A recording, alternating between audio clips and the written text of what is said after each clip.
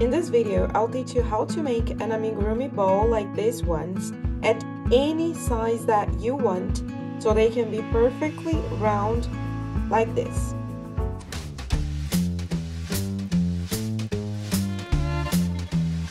And just so you know, in order to create all these balls here, I used the same yarn, which is called Mati Yarns. This is a brand from Portugal. The one that we are going to use now this mustard color is called Have Fun. They have amazing colors, a huge variety of colors. I strongly recommend you check their website.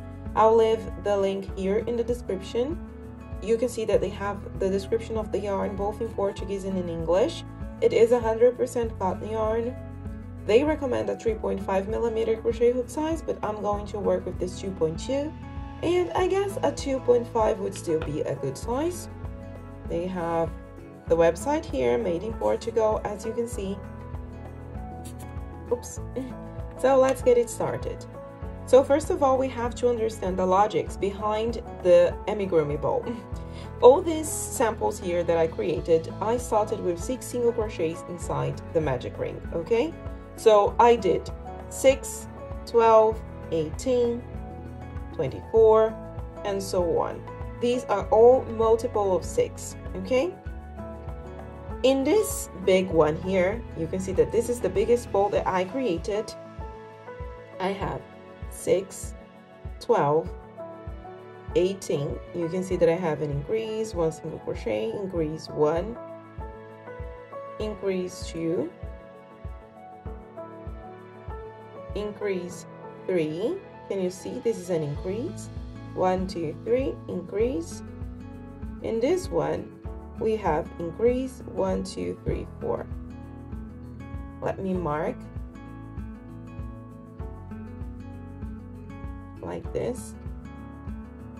So we have one, two, three, four, five, six rounds.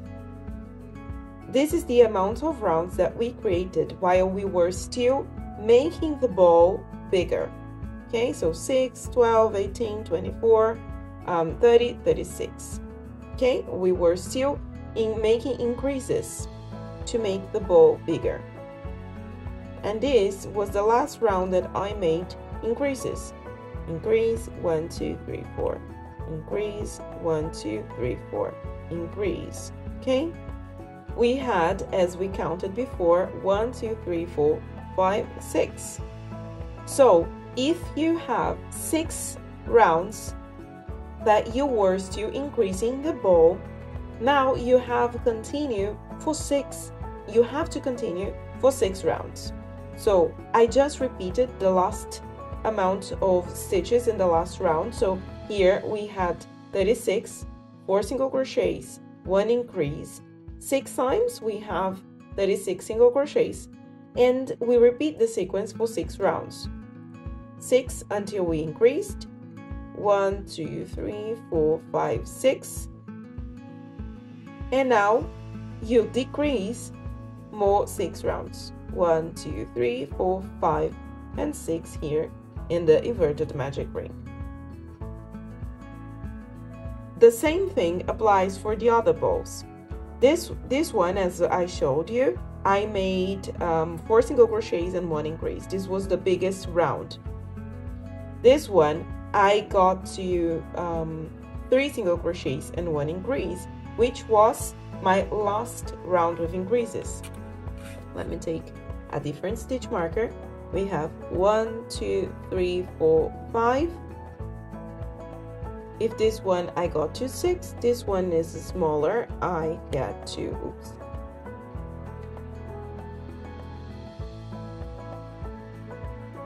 Five one, two, three, four, five.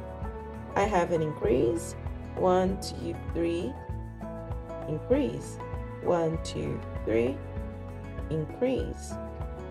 So the logic again is the same. If I have one, two, three, four, five rounds, and this is the last round that I increased, I will repeat for five rounds the last um, amount of stitches in this last round here.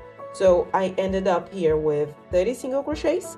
So now I have to do one, two, three, four, five continuous rounds. And after this round, what do we have to do? Decrease for five rounds again. One, two, three, four, and five. I hope you're following this explanation. And these ones, the smaller ones, this I said that I made um, four, three, we will do together with two. This was one, like this one is so tiny. Let's see if it's possible to show you. Six single crochets, 12, and here we have one increase, one single crochet, one increase, one single crochet. If I mark here, we can see that we had 6, 12, 18. So I had 18 single crochets here, 3 rounds. What do we have to do?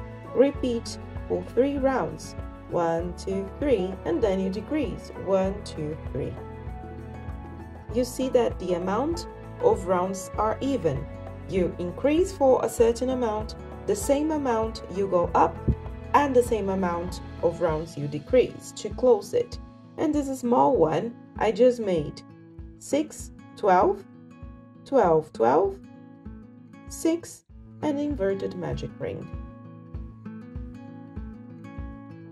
So as I promised, let's crochet together. We start with our magic ring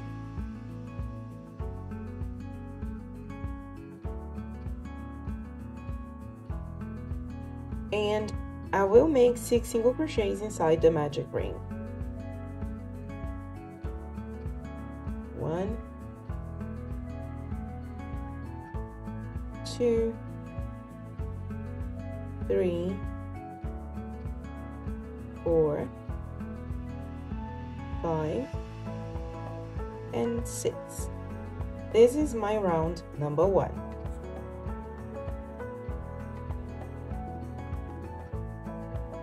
Round number two, I'll make 6 increases to end up with 12 single crochets.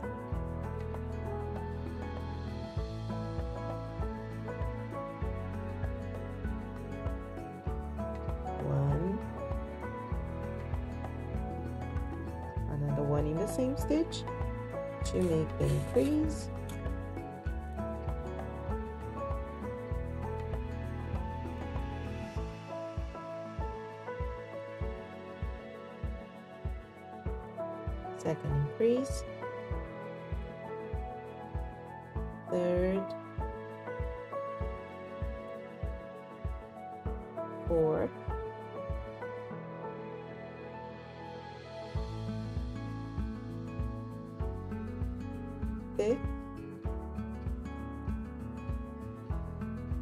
And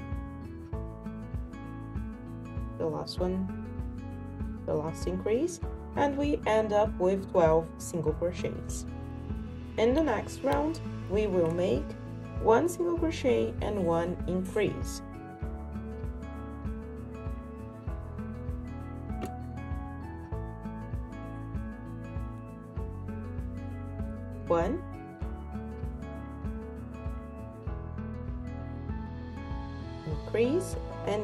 The sequence for six times, okay?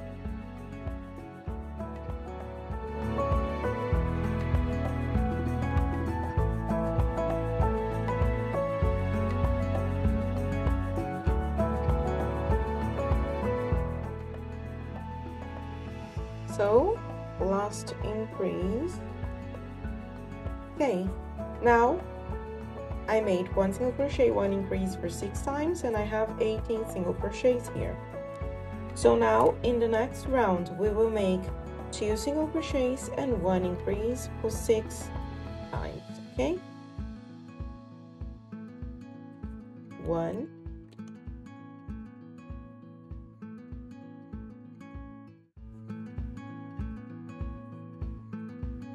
Two,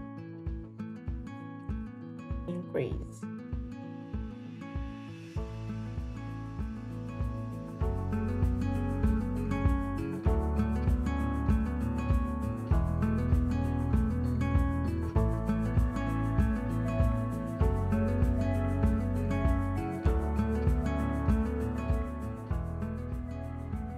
Okay, so I finished.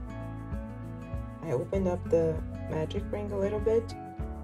Always, I like I like to pull the thread when it happens. I always do that, just to close it a bit more. So now I have 24 single crochets. I made two single crochets, one increase, six times. So now we have one, two, three, four rounds. Okay, we have four rounds, and in the last round we have 24 single crochets. So what do we have to do now? If I have four rounds, I have to make continuous rounds. Okay, so I will repeat the sequence for four rounds again. Four rounds until I increased. I will repeat four rounds, okay? So I'll just keep crocheting here. These continuous rounds. And I will come back when I finish it to show you how it looks. So as you can see, I finished four rounds. Let's count it together we have one two three four rounds you can see an increase here which was the last round with increases five six seven eight okay so we have eight rounds four that we were increasing and four continuous rounds. So what we have to do now is start decreasing and we will decrease for four rounds again. In this part I will do with you. You know that I always place the stitch marker in the first stitch of the round.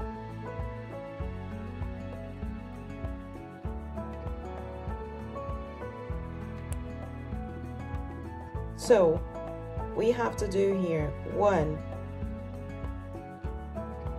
two, because here we did two single crochets, increase, two, increase. So now two, decrease,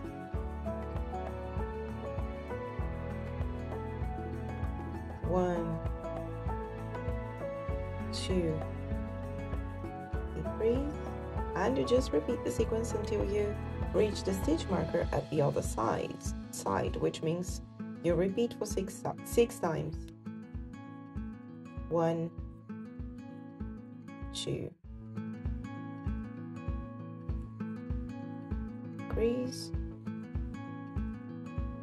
one, two.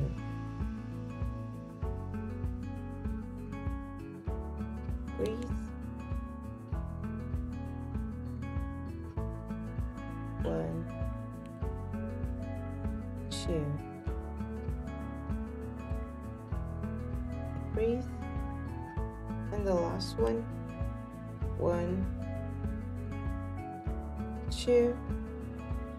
And decrease.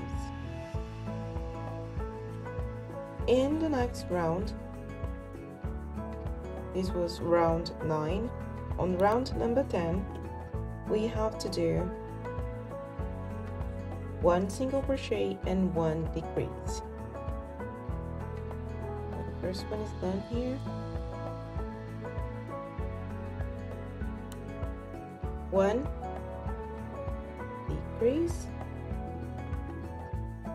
and again you keep repeating the sequence for six times until you reach the stitch marker at the other side.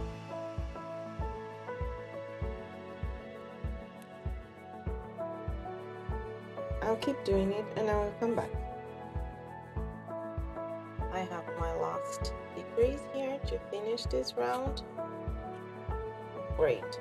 I'll put some stuffing inside this bowl so we can start seeing this shape.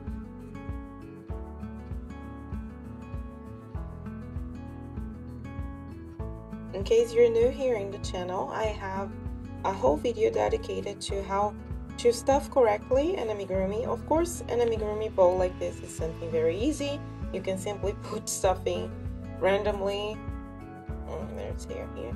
But I mean there is no secret to stuff a simple bowl like this but there are lots of secrets. To stuff an amigurumi correctly when we're thinking about a doll or an animal. To shape it correctly. it's very important. I'll leave the link for this video here in the description so you can check it later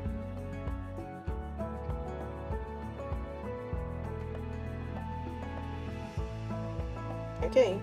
So I stuffed it and you can see that it's getting like a perfect round shape. In this last round we did one single crochet and one decrease. So now we just have to make six decreases for six rounds okay? So I will make the first decrease here.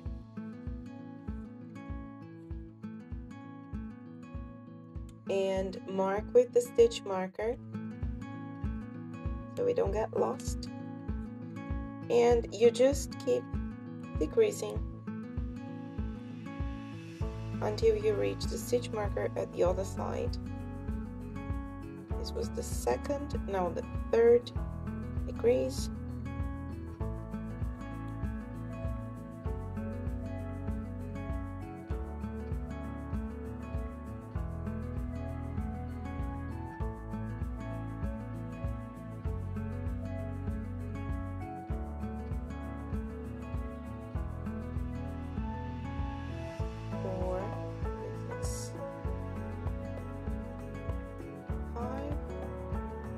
last one, six.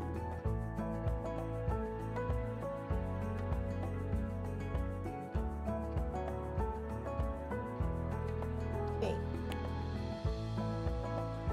So, let's count the rounds now to see if our mathematics worked here.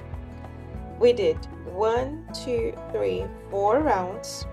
Okay, we have increases here one, two, three, four continuous rounds, okay? And we decrease for one, two, three. Bianca, there is still one round left to decrease because this is not even. We count the inverted magic ring here as the last round. So let's do it together. I will cut a piece of thread like this and with the help of the tapestry needle, we will do this last round, which is the inverted magic ring here in this case. There are lots of different ways to do the inverted magic ring. This is how I like to do it. I skip the first stitch here and I insert a loop in the front loop of oops, the front loops of the second one.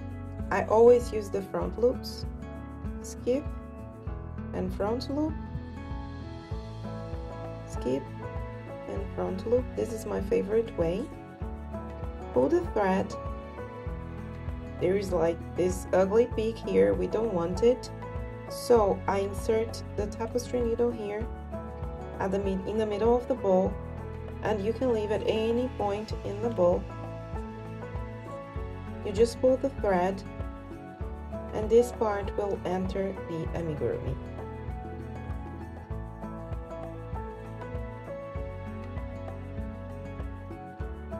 And you see that it's perfect. This is also how I usually fasten off. There is a tutorial here in the channel in case you have never done that. Then just take any loop to tie a knot. I would do it very fast here because as I said, there are other tutorials here in the channel that I teach it in a very detailed way so we won't lose time because the focus of this video is to explain how to make this perfect bowl shape. I'll just take my scissors here to cut the remaining thread and that's it. You see that the ball is perfectly round and using the same idea that the, the amigurumi has to be even, we create perfect shapes like these ones. Let me remove these stitch markers so you can compare the sizes now. So this one I had four single crochets and one increase. This one three increase, two increase, one increase and this one I just made the increase And that's it for this video. I really hope you enjoyed this tutorial and now you're free to do your amigurumi balls at any size that you want using any type of yarn.